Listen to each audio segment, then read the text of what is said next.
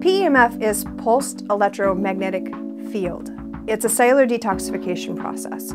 So if you look at your cells as an individual unit, you're taking a cell, all 70 trillion of them, and we're shaking them up through magnetic frequency. And during that process, we're actually cleaning them off, whether it's disease, toxins from what you eat, what you drink, what you're exposed to, cell phones, wireless transmission. All of that weighs down your cells and it makes them not function correctly. We clean them up, return them to their innate state so they can function as they want to, as they were designed to.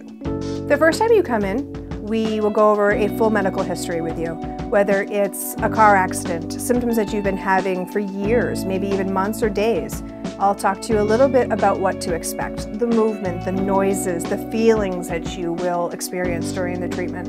And then we're going to set up a really personalized treatment plan for you.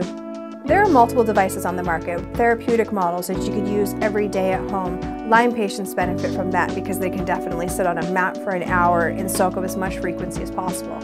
At Bedford Body Works, we use a PEMF 120. It is a 190,000 Gauss clinical device.